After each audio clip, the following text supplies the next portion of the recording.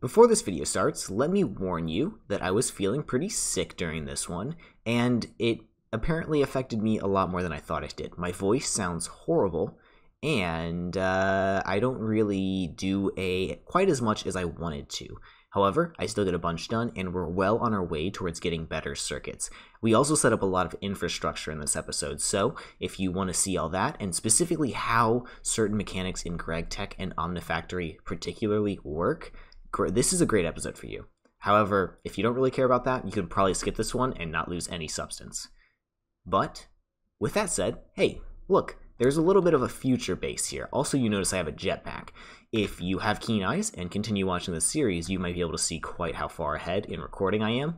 However, you know, it might take a, a couple weeks before I catch up in uploading the videos. Anyways, I hope you enjoy the video, and on with the show. Hello everybody, this is Andy, and welcome to another episode of Omnifactory. I believe this is episode 8, and don't mind me, I'm just processing some salt, because we need salt for salt water, and we need salt water to make chlorine, and we need chlorine to make polyvinyl chloride. Except that's not the right step, this is the right step. And I think our ethylene production is doing well. Let's go check on that really quick we seem to be pretty happy right here. I'm using a bit of ethylene right now because I'm creating a fair bit of polyethylene because I need more and more polyethylene for this because I'm using that polyethylene over here where I was making circuit boards before.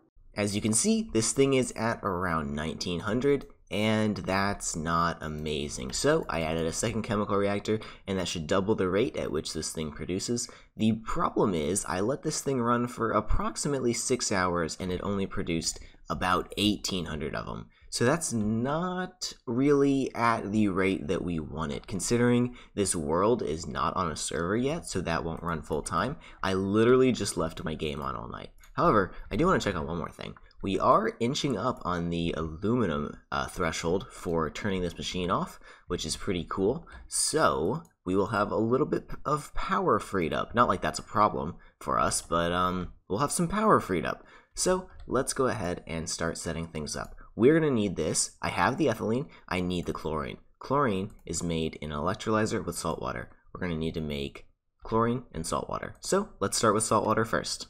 These centrifuges will be gone as soon as this process finishes up. I have finally finished crushing all my salt. I just need to centrifuge it. And then um, I'm going to need to craft up this borax because there is a ton of it and I don't need that clogging up my ME system. However, let's start setting up the salt water. Um, I made an export bus because I need one of those. Hello, may I have my export bus, please? Thank you.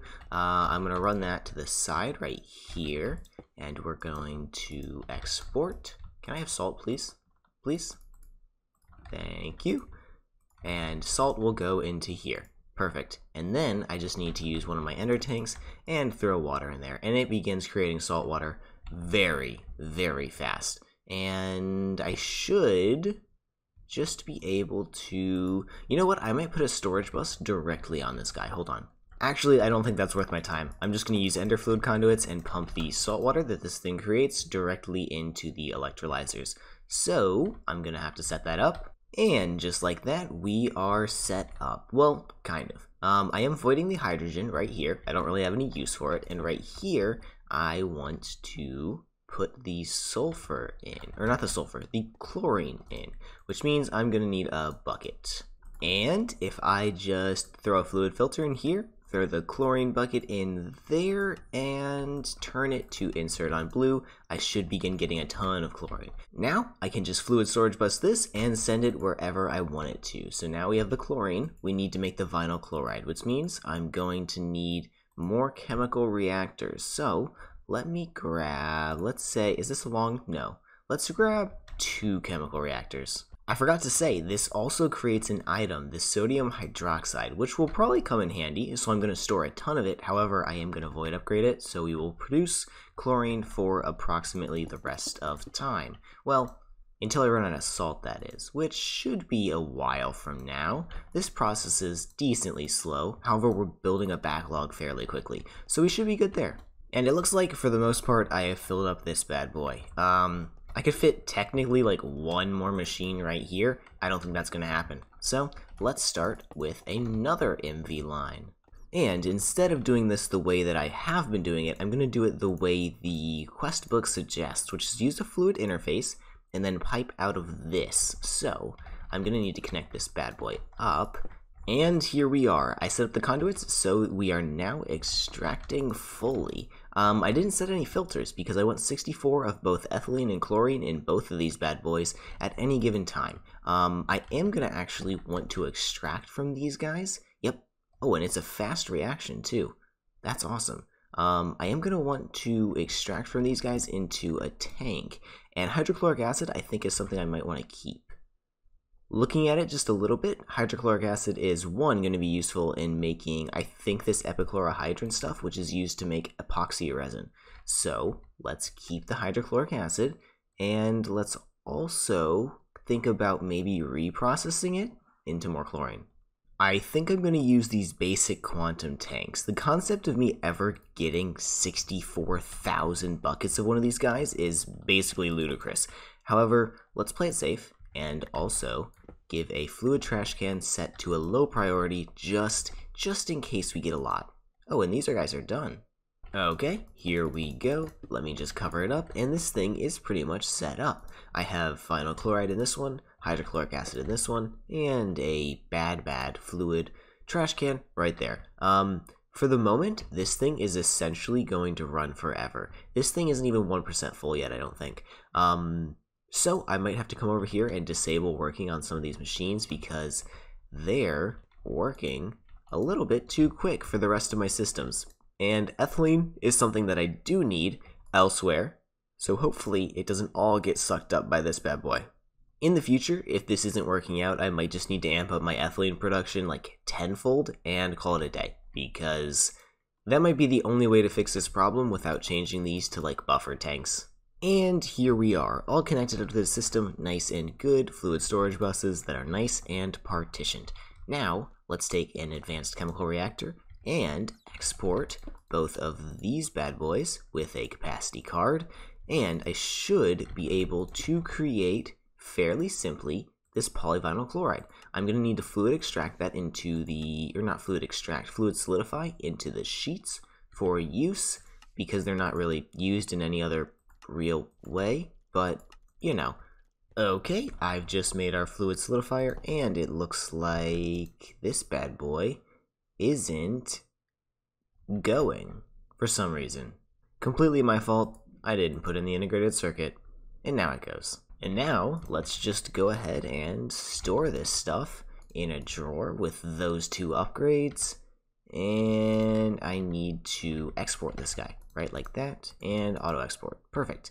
Now let's lock you, and we'll put a storage bus on this guy.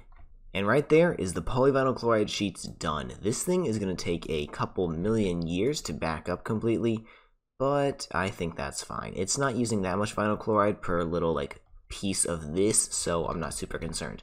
Um, next step, well, more like the next step and the last step, I need to gather up the last couple of things I need to make all of these bad boys. So I can make that pretty easily. Um, I need to set up a system that will automatically craft these wafers into the CPUs and RAM, and pretty much everything else it looks like I can already make pretty comfortably. So the last two things that I need is going to be carbon and gallium. I don't know how to get gallium, so let's find out.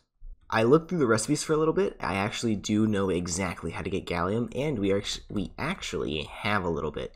Let's check the ME system, and you'll see that I have around 300 pieces. This stuff is used in the blast furnace to make these silicon boules, which I am making constantly. So I have 200 right now. Um, so what I need to do is I need to centrifuge some processed zinc ore. So let's go ahead and buy some zinc. Ooh, can I not buy zinc? How about sphalerite? Can I buy sphalerite? I can. Perfect. Let's buy... Oh. Apparently we will buy one stack of sphalerite and a bunch of magnetite as well. Um, oops. Let's go process this. And it should just be macerated, right? Yeah, so, while I was waiting for all of that gallium to process up, I looked at all the recipes for carbon, or, well, I looked at this one, and I decided this is definitely the one that I'm using.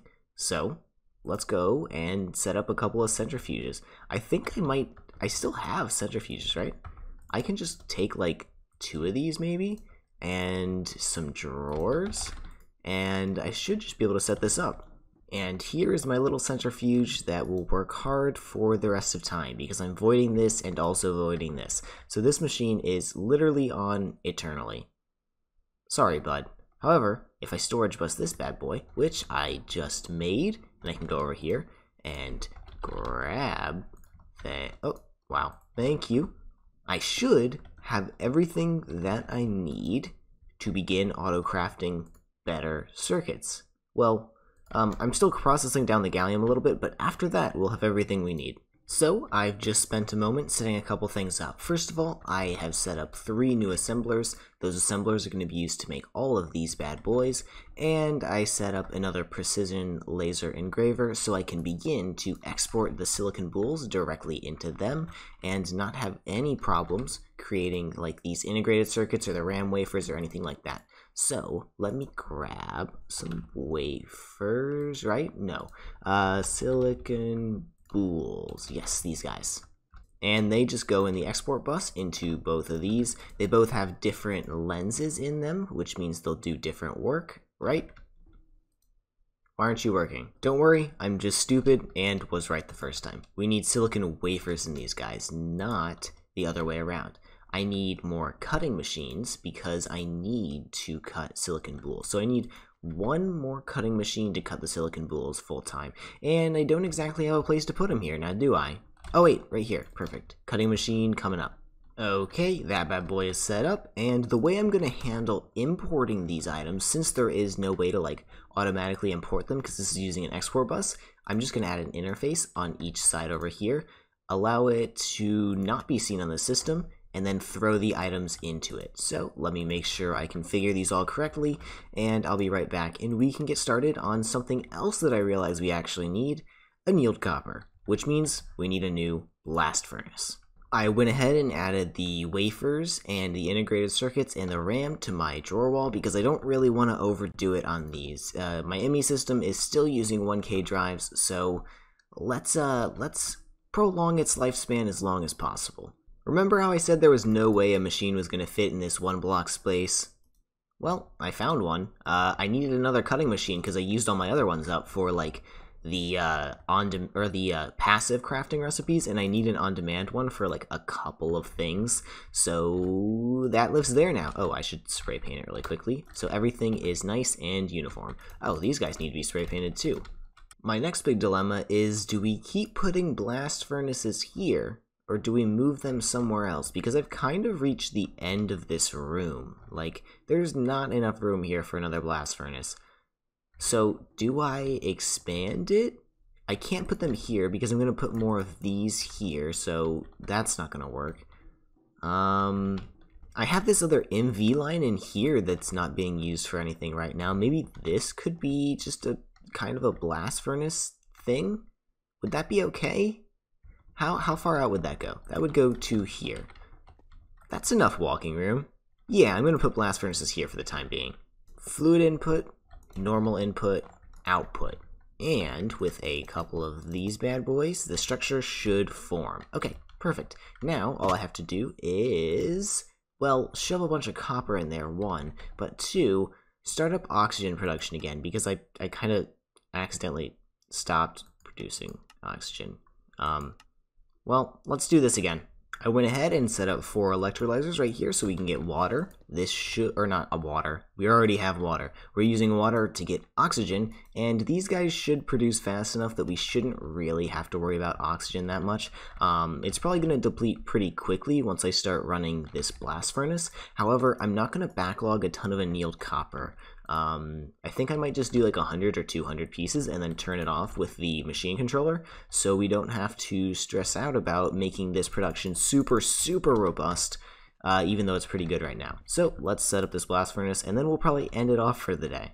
I'm going to input using an interface set on don't show. I'm going to do fluid with a fluid export and normal items with a normal item export bus. I really, my brain is just not working today. I'm going to need some copper so I can export into this ULV hatch thingy. And there we go. I'll just throw that in there. If I can sneak it in. No, I can't.